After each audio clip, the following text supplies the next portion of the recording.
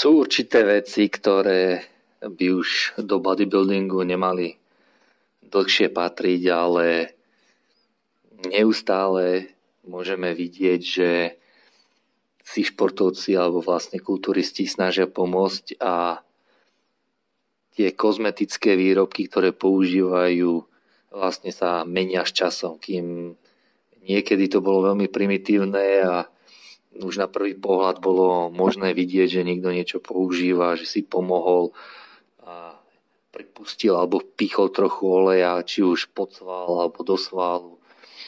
Nevždy sa to vydarilo. Tak postupne aj v dnešnej dobe sa tieto olejové substancie vlastne menia za rôzne moderné vodnaté substancie, ktoré sa používajú na konci prípravy a je veľmi ťažké rozpoznať vlastne, že ich daný športovec použil.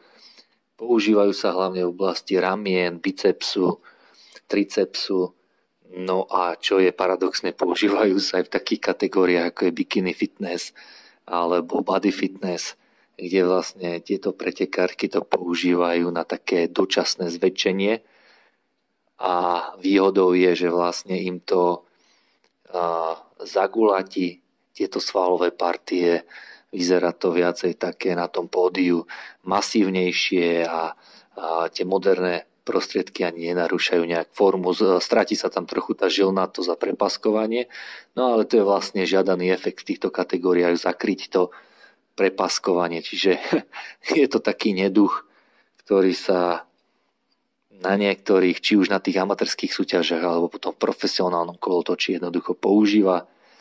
A dá sa to, keď tomu dosť rozumiete alebo máte to napozerané, dá sa, dá sa to vidieť a dosť záleží o tom, ako to kto urobí. Mne osobne sa tieto prakticky vždy hnusili a jednoducho, keď tam je to čisté meso, a je to úplne niečo iné, ako keď to je takto dotvorené tými olejmi a rôznymi substanciami. Viac by som sa však chcel venovať syntolu a pozriem sa na to, ako ho vlastne kulturisti zneužívali a ktoré mená boli spájane so syntolom.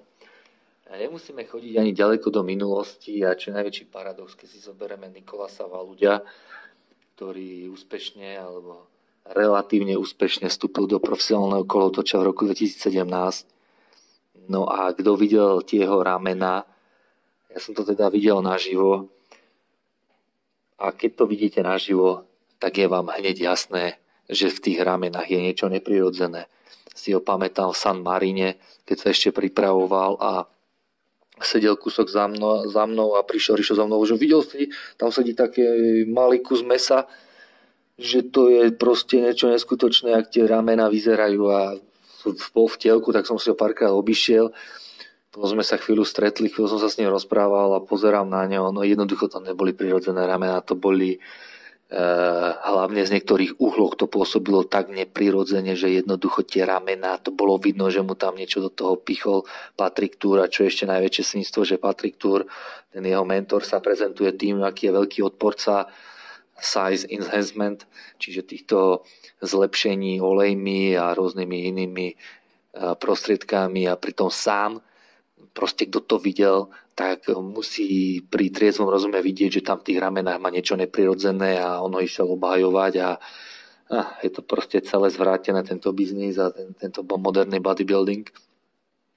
No a v podstate videli sme to v Charlotte Pro, kde ho Šadek porazil, ale napriek tomu, že každý videl, že tam v tých ramenách niečo má, aj tak ho rozhodcovia dali na tretie miesto No ale potom mu radšej odporúčili, aby nešiel do New Yorku, keďže on chcel pokračovať do New, na New York Pro. No ale tam, keby ho videl Steve Weinberger, tak by asi jeho profesionálna kariéra veľmi rýchlo skončila tak to zahrali do autu, trošku sa strapnil aj Dave Palumbo, ktorý tam špekuloval vo videách, že, uh, že sa mu dostal zápal do ramien a že vplyvom toho zápalu sa mu to dostal, no to je, to je proste nezmysel na entu.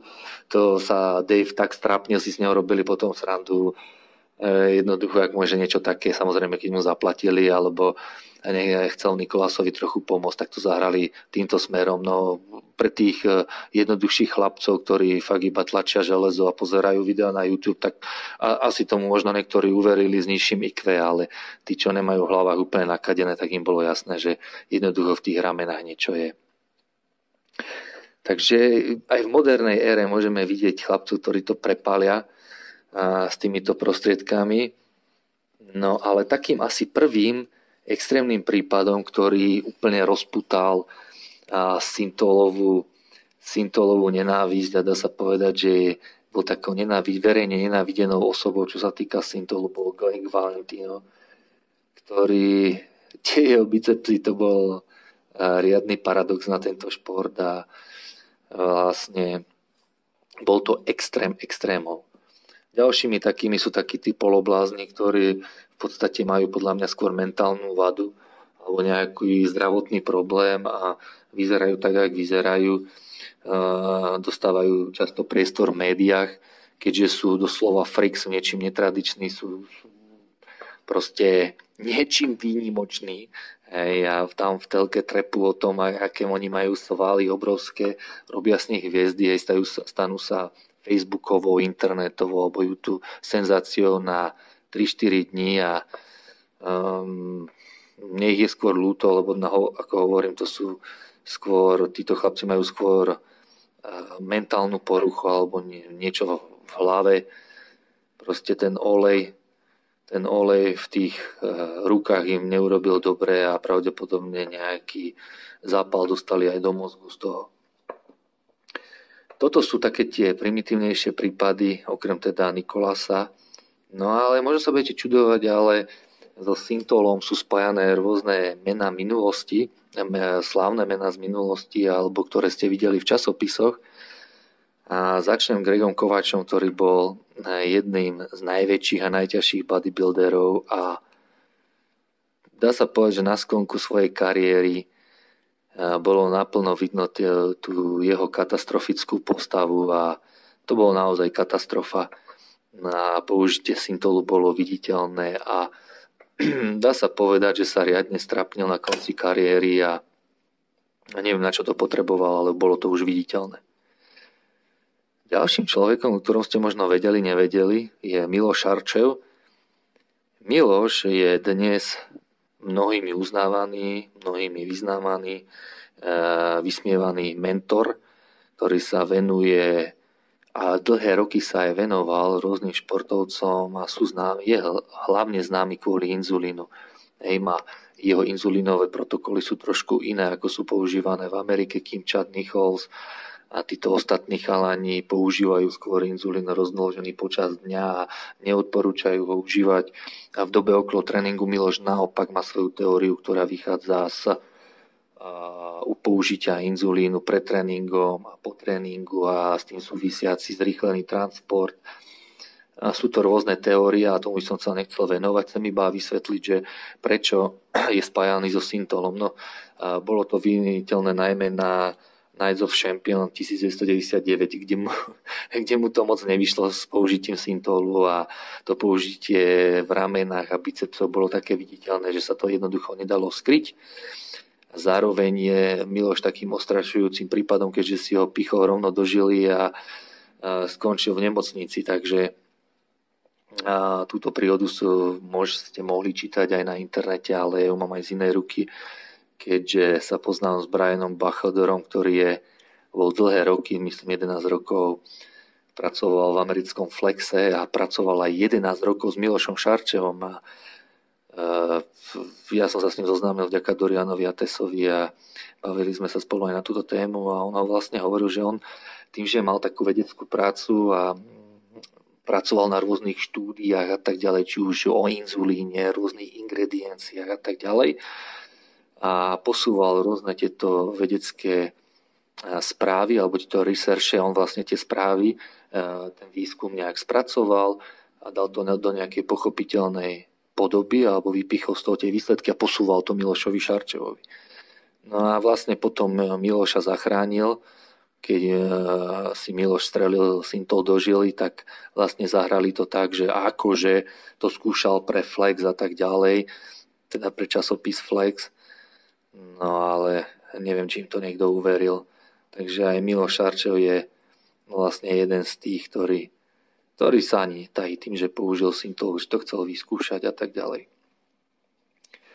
Ďalším ostrašujúcim prípadom alebo človekom, ktorý si chcel pomôcť na sklonku kariéry, no ale aj pri bojoch s Dorianom Jatesom bol vlastne Nasser Sombaty. Tento juhoslovanský uh, rodák a kulturista, ktorý sa dokázal presadiť a bol veľmi populárny, mal kontrakt s Vajderom, bol jeden z najťažších kulturistov v tej dobe, bol ťažší ako Dorian, však nikdy tú svalovú motu hlavne v zadných pózach, aj v predných pózach bol dobrý, ale v zadných pózach to nikdy nedokázal tak spracovať ako Dorian aj prehral vlastne s Dorianom. Samozrejme cítil aj určitú krivdu, lebo keď už bol Dorian doslova dotrhaný, roztrhaný triceps, biceps, tak už tie svaly naozaj nepôsobili dobre a možno, možno, nie že možno, ale určite niektor na tých posledných olimpiách bol asi aj lepší ako Dorian, ale jednoducho tá tradícia nechať vierať predchádzajúceho mistra Olympia bola tak, ako bola. Čiže vyhral vždy Dorian a porazilo. No a v tých posledných rokoch opäť došlo k tomu, že prišla tá Sintelová doba a jednoducho zase to prehnal. Nasaral som baty a to použitie Sintolu u ňou bolo jednoducho zase viditeľné tie ramena, bicepsy, to bola katastrofa, čo predviedol. No a takisto sa s tým zhovadil a išiel potom, a tých, išiel potom do zatratenia, ale tá, tá jeho, tých svojich fanúšikov on stále má aj po rokoch.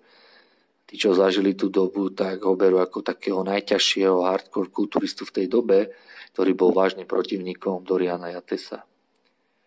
Ďalším kulturistom, ktorý priviedol svoj svalový rozvoj a syntolový rozvoj do extrému je Markus Rill.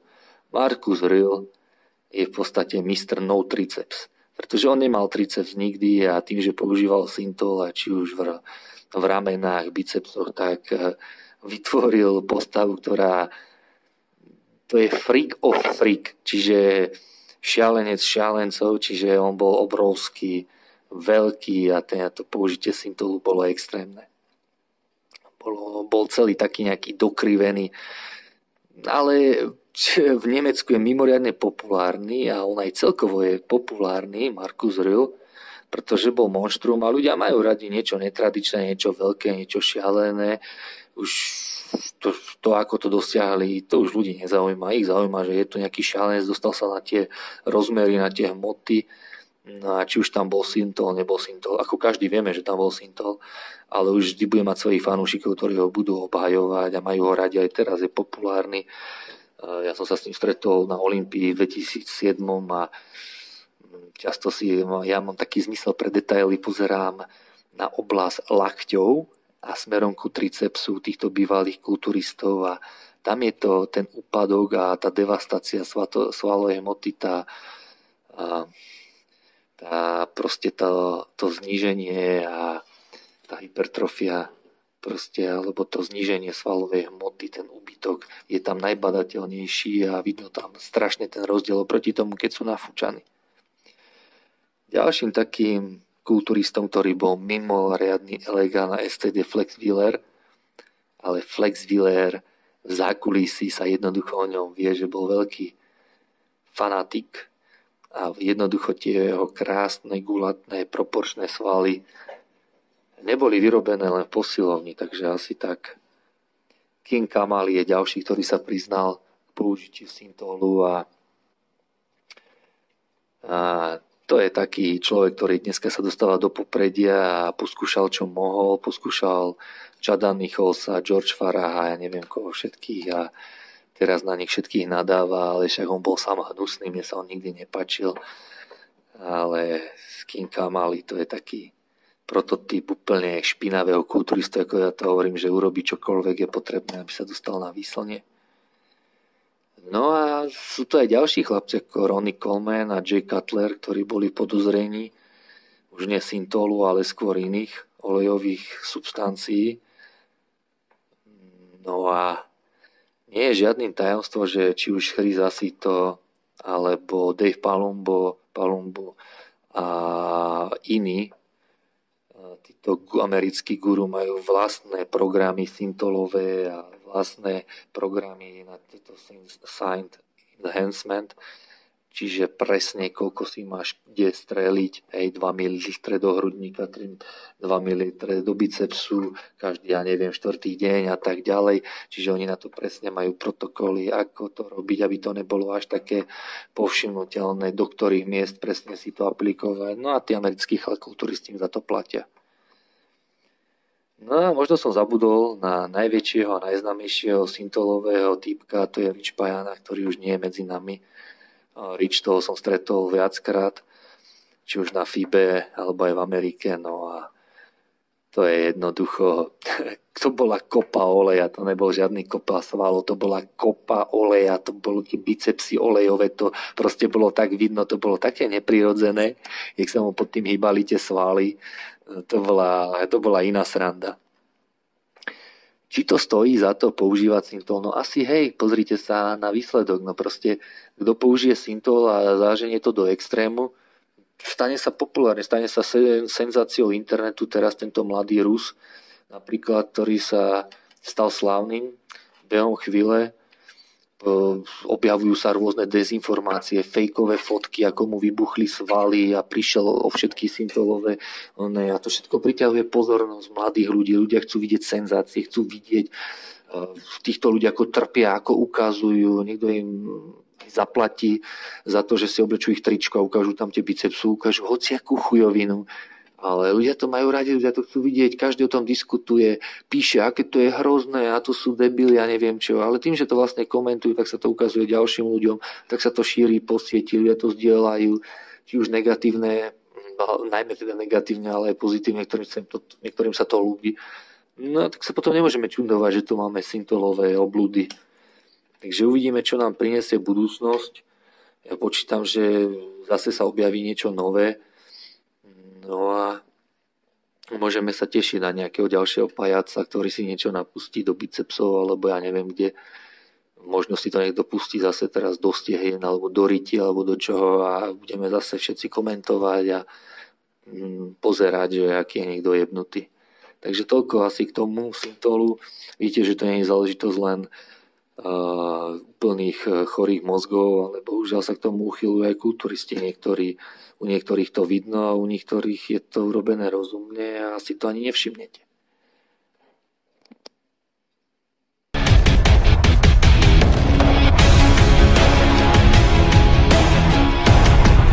Chceme vám predstaviť Gains Halo Pro. Gains Halo Pro je produkt z kategórie All-in-One produktov. To znamená, že kombinuje množstvo ingrediencií v jednom doplnku. Medzi základnú zložku patrí proteín, ktorý je v najvyššej kvalite.